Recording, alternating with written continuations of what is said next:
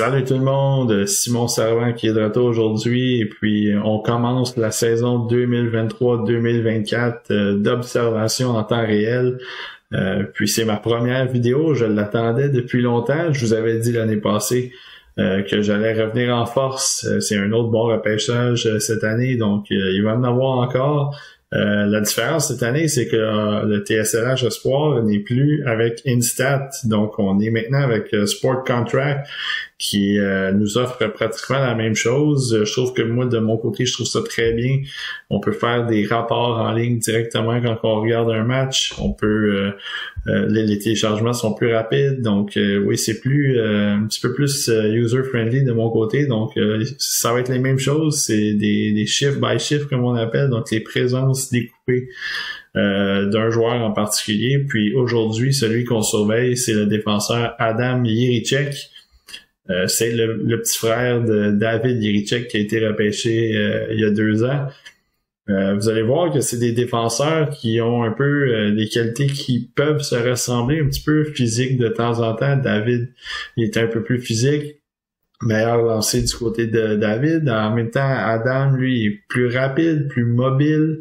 Euh, la transition offensive se fait quand même bien. Euh, David, lui, j'étais un petit peu moins high sur lui à son année de repêchage, vous vous en souvenez. Euh, il y a eu une belle progression l'année euh, l'année passée.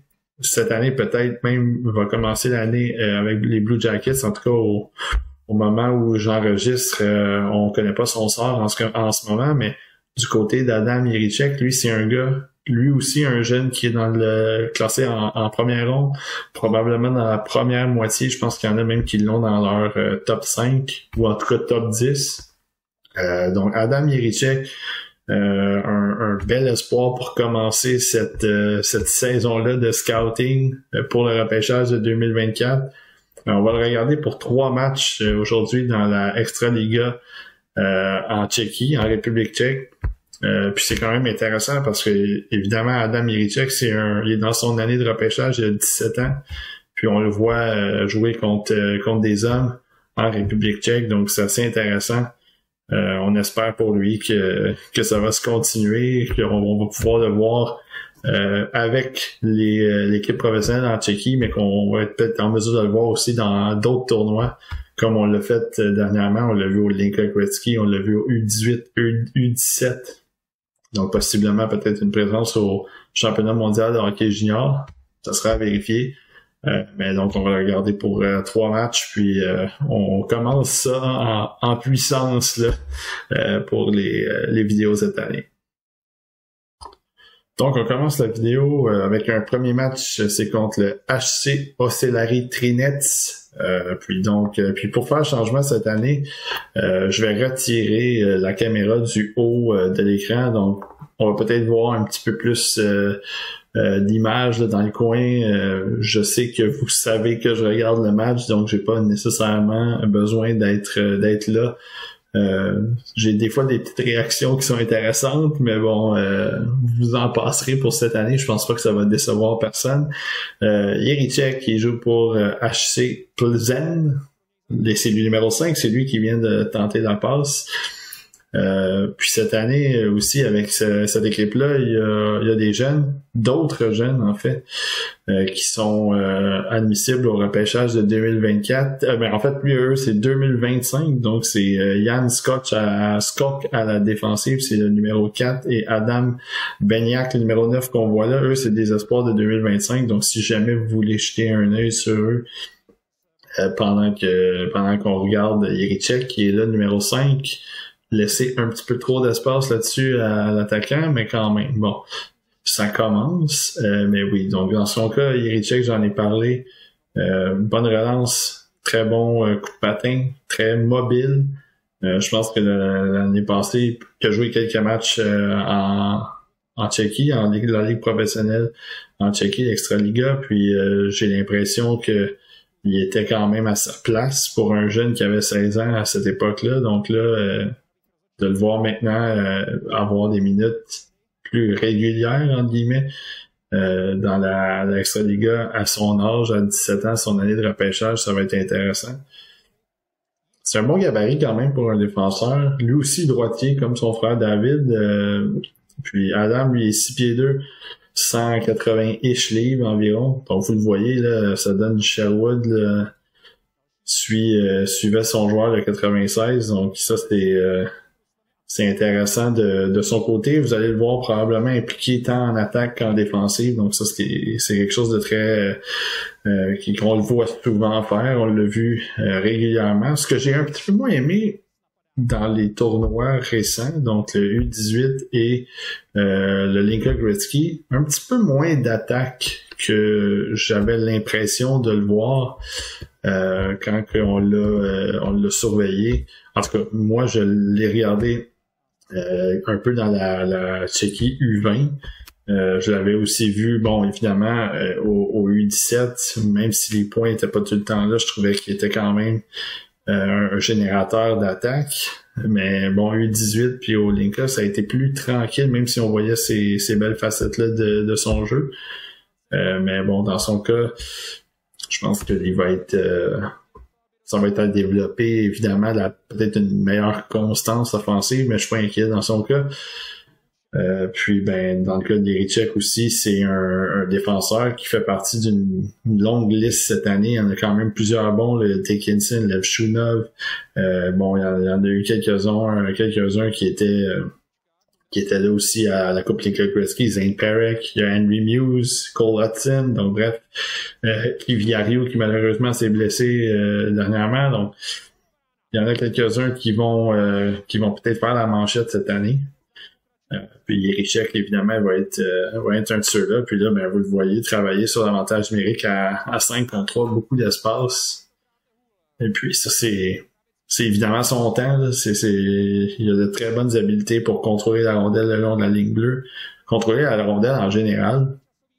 Donc, je pense que euh, de son côté, c'est avec plus il y a de l'espace, plus il est efficace pour travailler. Et puis, malheureusement, bon, là, ça n'a pas donné de points euh, pour l'instant, mais je pense que c'était euh, déjà pour cet âge-là, c'est assez impressionnant de, de le voir euh, travailler en avantage numérique comme ça dans une ligue professionnelle, même si c'est pas la Ligue nationale ou même si c'est pas la KHL ou quelque chose de ce genre-là, ça reste une ligue avec des hommes. Euh, donc, euh, pas beaucoup intimidé, puis assez solide offensivement.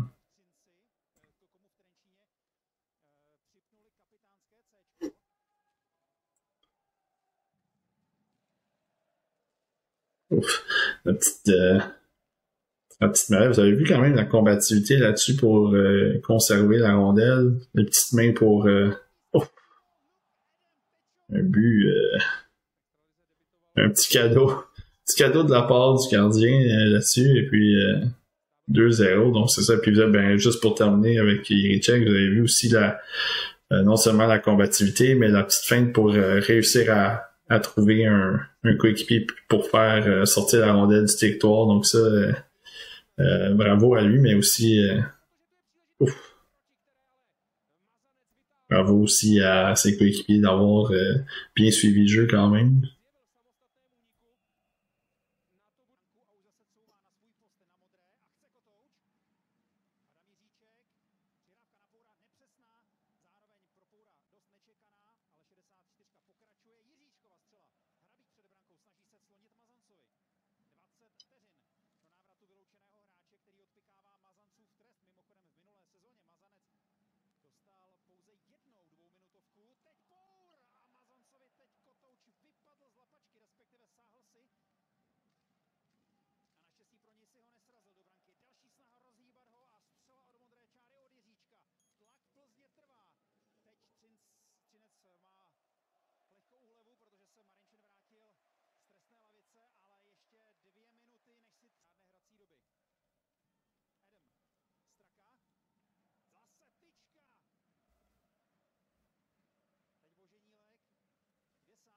Exact. Euh, là-dessus, le, bâton, euh, ça c'était sûr que il n'y avait plus de place rendu là. Très grande portée quand même, euh, fait c'est sûr que ça passe pas facilement de son côté, ou en tout cas, ça va être difficile de le contourner.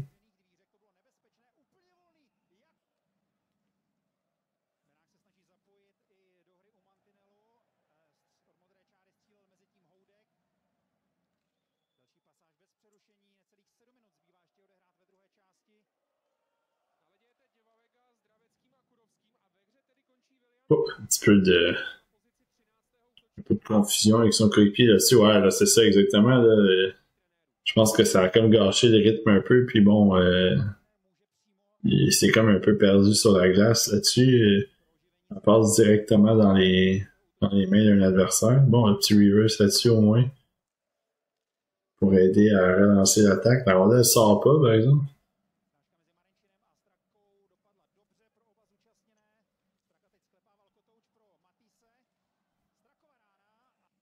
Avantage numérique, on va voir euh, si euh, Irichek puis son équipe vont être capables de créer quelque chose.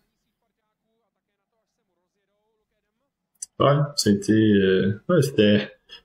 Sortie de zone était bonne, l'entrée de zone était bonne. Bon, et voilà, là, on peut, on peut regarder euh, Irichek travailler sur la, sur la ligne 2. Ouf, j'aurais peut-être aimé euh, qu'il reçoive une passe là-dessus. Ouf. Il était bien placé dans le centre pour décocher un tir sur réception. Son coéquipier a décidé de ramener ça au filet, ce qui était pas mauvais.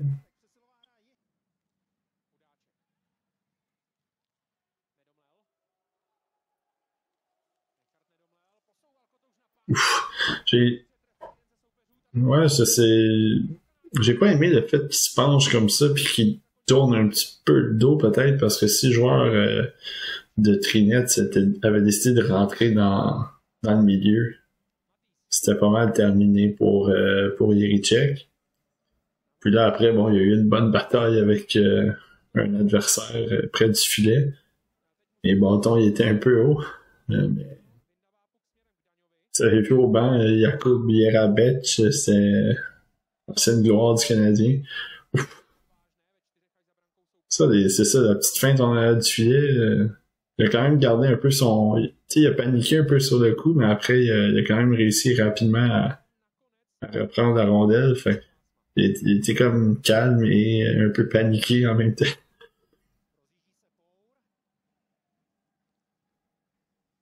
Bon, ben, en avantage numérique, ça se. Ça se termine pour Irichek, il doit, il doit être allé nexer. Euh, dernier match, euh, en fait, premier match de la vidéo, on a vu un Irichek qui était euh, tranquille quand même dans l'ensemble. quelques petites percées ici et là à l'attaque, des petites relances. il a eu l'occasion de décocher quelques lancers aussi. Des fois, ça venait pas tout le temps. Des fois, ça ratait un peu le filet. On l'a vu un peu travailler en défensive aussi. Ça a été un premier match plutôt tranquille. Pas nécessairement fait grand-chose de négatif. C'est pas non plus euh, wow comme, comme prestation. Donc, euh, c'est un bon petit match correct pour lui. Puis, euh, bon, on va voir si peut-être ça peut, ça peut s'améliorer du côté du deuxième match. Deuxième match de la vidéo euh, de Adam Yerichek, c'est contre le HC, Lidvinov. Euh, donc c'est euh, l'équipe, l'ancienne équipe de Yann Michak notamment. Euh, du côté d'Yerichek, toujours en, en blanc, toujours numéro 5. droitier, donc vous allez voir du côté droit de la, de la surface. Puis J'espérais que c'était pas lui qui venait de se faire prendre avec cette longue passe-là, mais c'est justement c'était son changement qui a mené euh, un peu à cette ouverture-là. Ouais, là, il a jonglé avec la à la ligne bleue, que ça. J'ai bien aimé le travail de son coéquipier, par exemple, en, défensive, qui a tout de suite coupé euh, la possibilité aux, joueurs adverses de, de, en fait, de ramener ça au filet.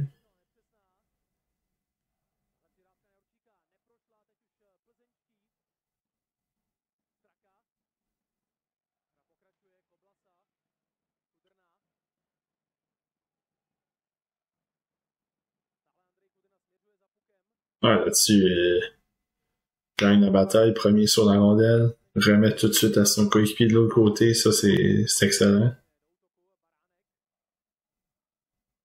Après ça, évidemment, ce qui se passe après, la... ouais, le pinch un petit peu de tar... pas nécessairement un pinch, mais couverture un peu tardive euh, là-dessus. Tout le monde était un peu quand, quand même placé, son coéquipier aussi était relativement près. Donc ça avait l'air peut-être un peu plus dangereux que ce l'était vraiment. Oh, le petit, euh, plongeon sur la glace. Euh, en défensive, des fois, euh, c'est Don Cherry qui disait tout le temps de Don't leave your feet. Donc, euh, je, je t'évoue pas par terre. Puis, dans ce cas-ci, je pense qu'il coupait bien la ligne de passe, par exemple, mais le gars il aurait pu revenir de l'autre côté, puis là, ben, le temps qu'il se relève, ça aurait pu ça aurait pu être un petit peu plus un peu plus long, puis ça aurait pu donner une ouverture de l'autre côté. Mais pas être très grave non plus euh, de, de ce côté-là.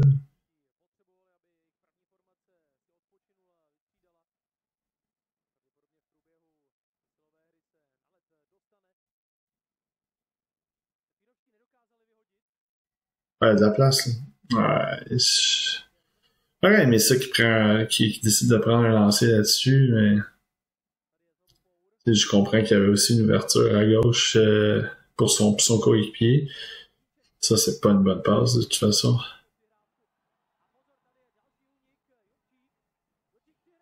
Ouais, là-dessus,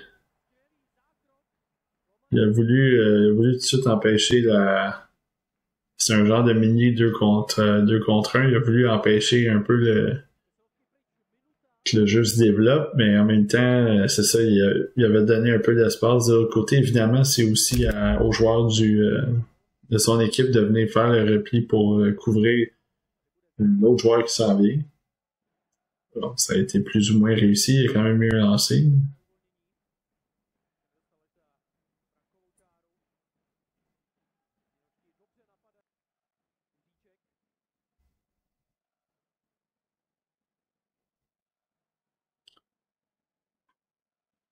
On qui refuse de suivre. Pas eu l'occasion de beaucoup s'installer en, avantage numérique. Là. Bon, on la passe de l'autre côté, bon, ça, on, attendait cette passe-là. Là, il faut vraiment qu'il s'installe puis qu'il puisse travailler avec le, les joueurs qui sont en périphérie, le bumper peut-être, ils n'ont pas l'air à se déployer de cette façon-là, mais Ouais, il y en a un, euh, un qui rôde un petit peu quand même. Ouais, ça. Ouf. Il a pris la décision de se tasser quand il y avait la genre de, de 3 contre 1,5 qui se, est trop de. Ouf. Ouf, les arbitres qui ont laissé passer. Il a pris la décision de se tasser quand il était en, en 3 contre 1,5. Euh, puis là, quand il a vu que le, joueur adverse avait jonglé un peu avec la rondelle, il a décidé de, de rester où est-ce qu'il était, puis de d'attaquer le, le, bâton, attaquer la rondelle, puis finalement, il a réussi à intercepter le jeu. Oh.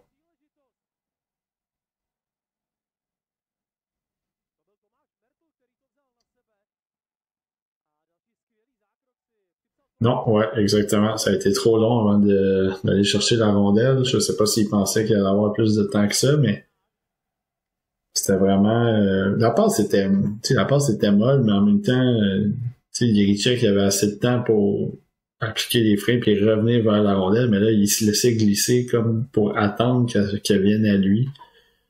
Mais bien, finalement, il y a eu euh, un peu de danger, mais le gardien est venu stopper ça. Puis aussi, Yerichek a mis son bâton pour euh, un peu déranger. Fait que ça. Finalement, il y a eu un. L'attaque n'a pas été euh, pas été assez, euh, assez solide, n'a pas été franche.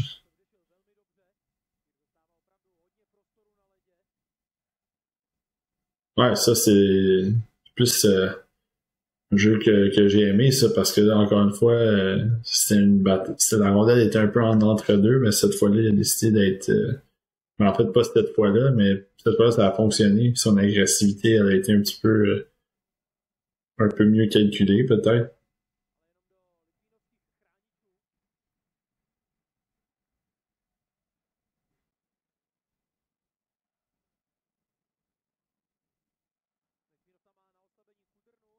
Ouais, c'est pas, c'est pas la meilleure passe pour relancer, un petit peu en arrière, un peu dans les, les patins. Euh, Ouais, c'est ça. C'est des petites erreurs de. C'est le début de saison aussi. C'est des matchs euh, du euh, de mi-septembre. Donc c'est sûr qu'il y a un peu de. C'est, je veux pas dire de la rouille, mais parce qu'ils quand même, ils ont quand même eu le temps de jouer quelques matchs, mais c'est le synchronisme, c'est, de retrouver un peu ces marques là.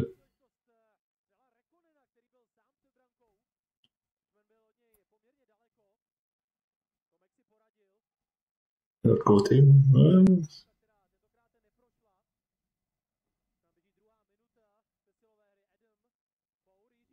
ouais. C'est.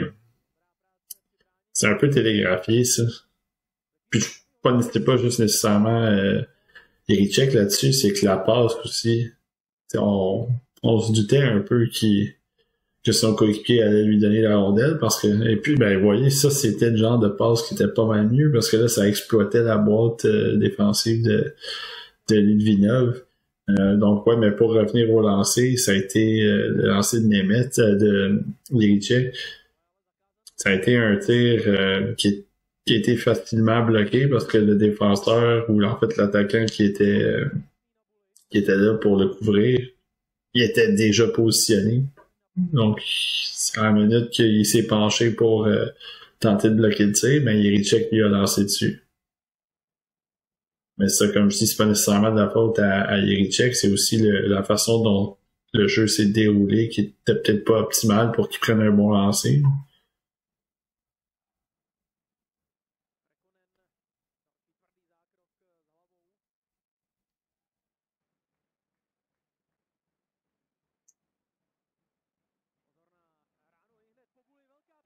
Ouais, exact. Ça aussi, euh, un peu de, confusion là-dessus.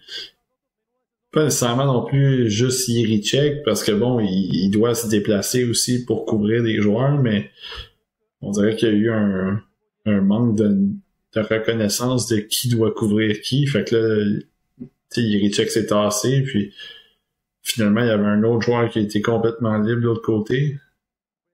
Ont été chanceux que ça soit pas plus menaçant que ça. Encore une fois, les attaques étaient pas tout à fait franches. Fait que c'est. Ils se sont. s'en sont bien tirés là-dessus.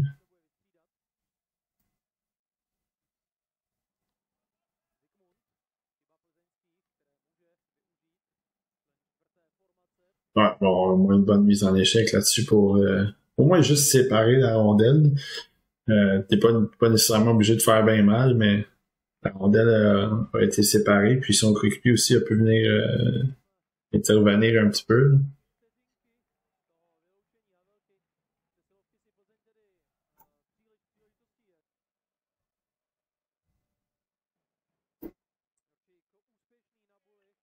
un avantage numérique important. Il reste juste trois minutes.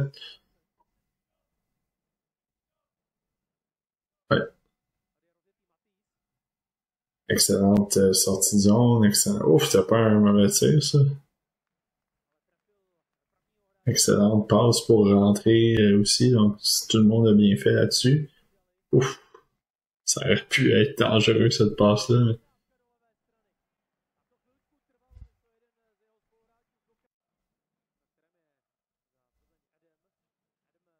Oh, yeah.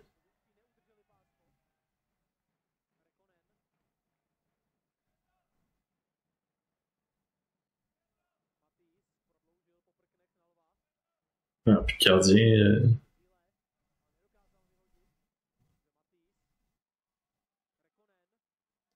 J'imagine que Brazona Brana, ça doit être ça, à check, là. Euh, le gardien est rentré euh, au banc.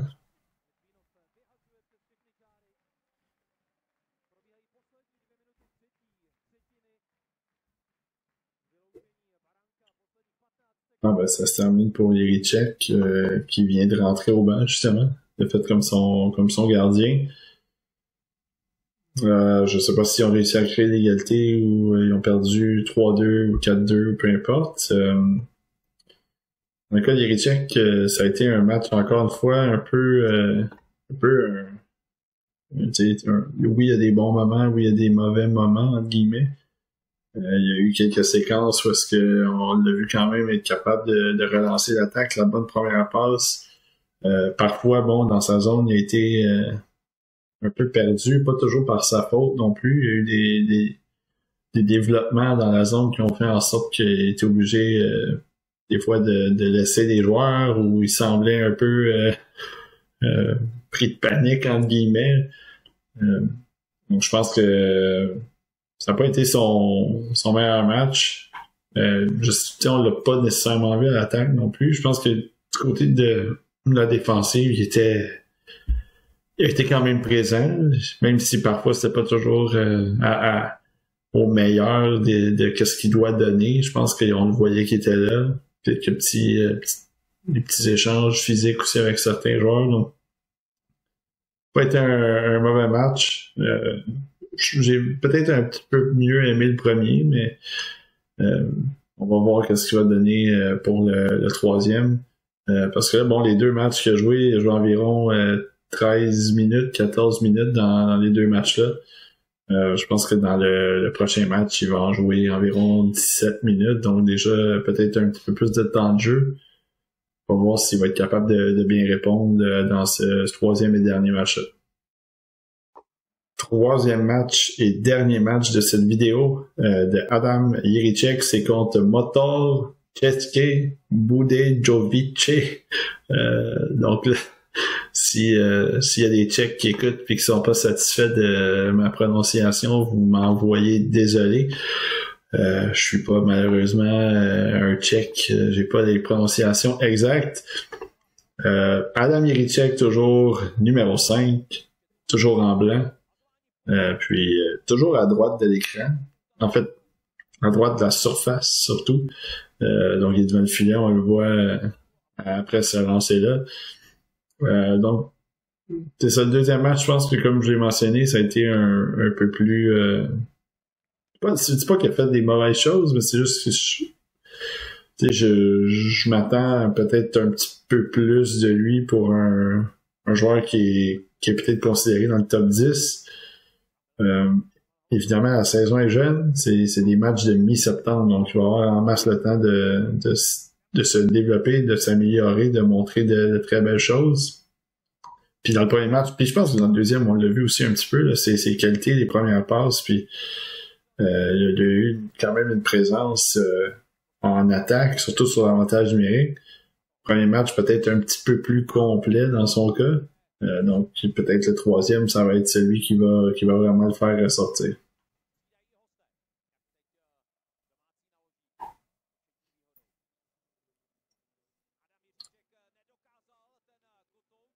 Oh! Ouais, C'était pas... Euh,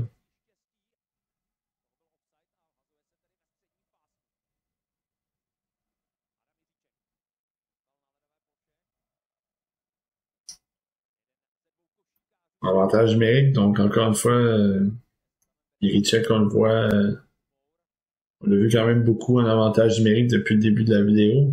Ouf, il y avait une rondelle qui était placée sur le T, là, puis je sais pas si le défenseur a réussi quand même à mettre la palette sur, euh, sur la, rondelle, se faire des de par-dessus le filet.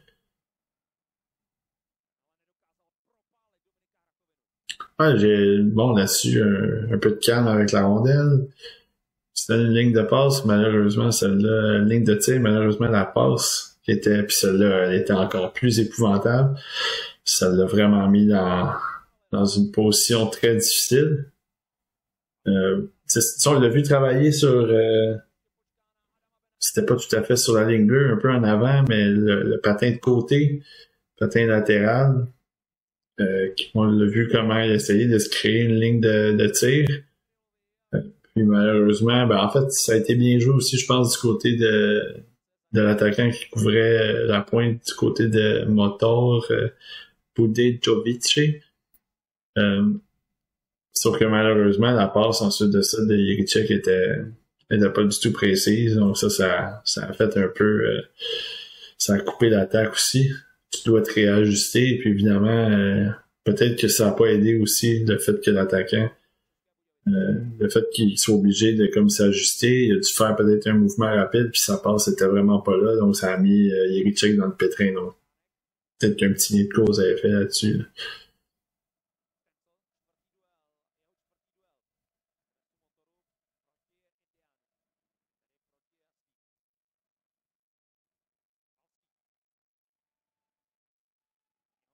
Ouais, exact. Ouais, faut pas qu'il abandonne. Exact, ça c'est excellent ça. J'avais fait le bon jeu d'abord pour aller bousculer l'attaquant adverse. Puis là, ensuite de ça, ça a continué à être une bataille un contre un, une bataille de force. Puis là, Irichek a eu le dessus, puis en plus de ça, il l'a renversé sur, sur la patinoire. Fait. Et ça, ça a été très bien de sa part euh, là-dessus. Combativité, continuer à, à, vouloir euh, être intense, à être combatif, comme, comme je le mentionnais. Donc ça, ça a été très bien. C'est pour ça qu'il a réussi à gagner la rondelle, d'ailleurs.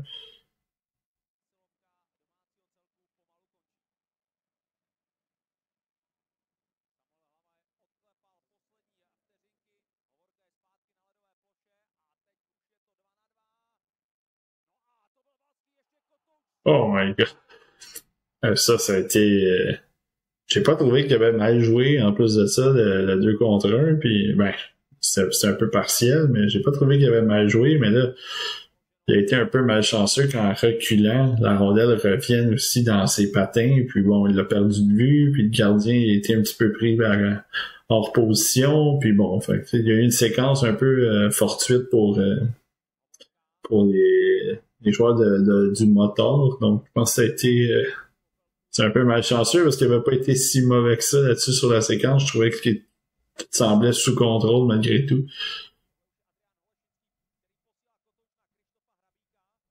Ah, ça, ça va arriver de temps en temps.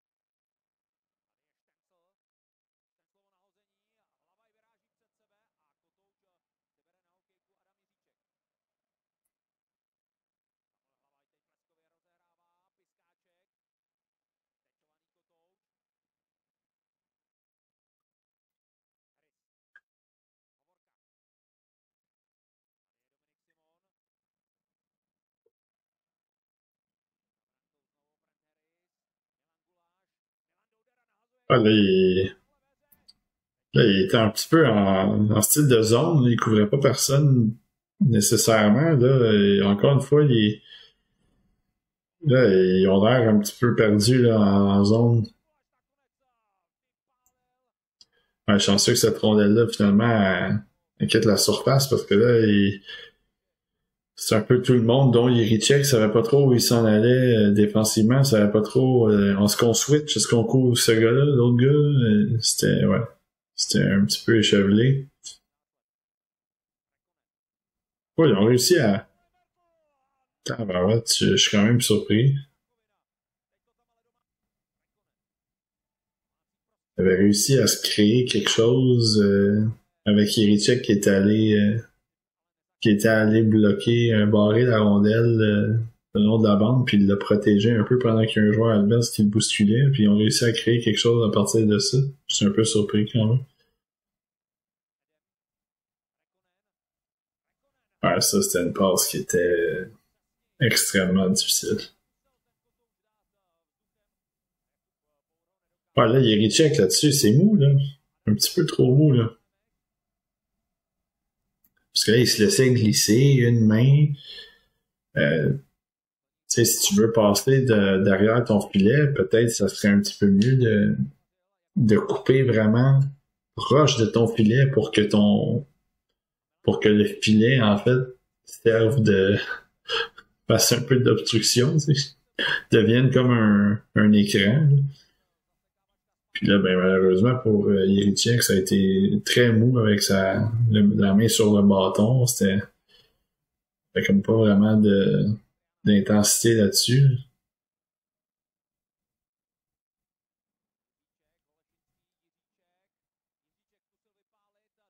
Ouais, c'était déjà un peu. Euh, il n'y avait pas vraiment de bonne ligne là-dessus. Il l'a tenté pareil.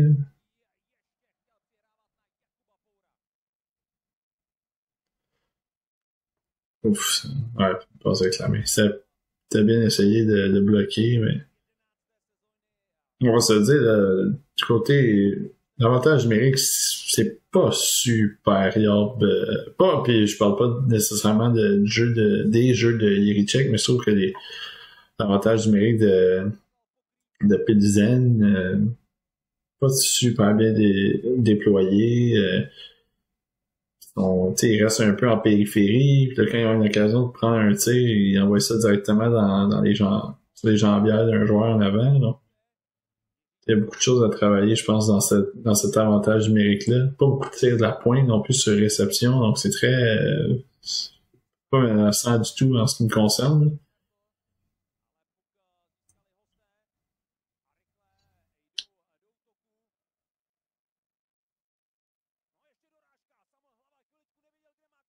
Ouf, oh, oh, bon, il était temps que, il était temps que ça sorte. Erichek était, était revenu tardivement, puis là, ben, c'est quand même lui qui a réussi un petit peu après à, pousser la rondelle de l'autre côté.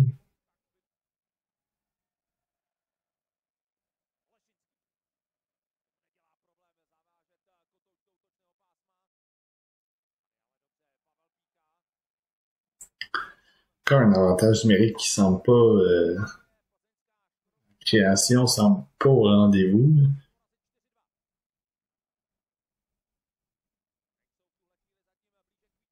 il faut qu'il reset ça un petit peu. Bon, en arrière, puis bon, là, faut que ça circule un peu, parce que vraiment pas de... Ouais. Ouais, ça, c'était bien. Ah, ça, c'est malheureux pour euh, Je pensais qu'il y avait quand même l'occasion de, de la récupérer. On dirait qu'il s'est tourné la tête du mauvais côté, mais... Ouais, il faut qu'il rentre là. Absolument. Malheureusement, je je sais pas pourquoi. J'aurais aimé qu'il continue avec son avec son coéquipier à, aller chercher cette rondelle-là. Parce que là, il a vu que son coéquipier était là, puis là, il a décidé de, de le laisser aller. Mais quand lui a récupéré la rondelle, il n'y avait plus d'option. Parce que Yerichek s'était vraiment ramené plus loin. Il rendu à la ligne bleue. En fait, s'en retournait vers la ligne bleue.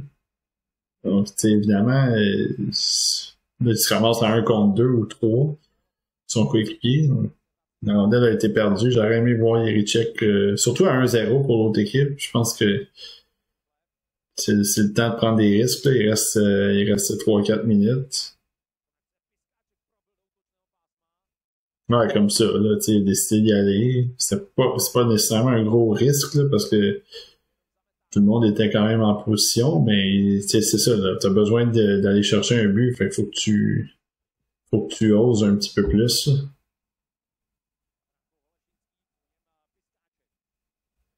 Et je pense que ça va être la fin pour lui, ouais.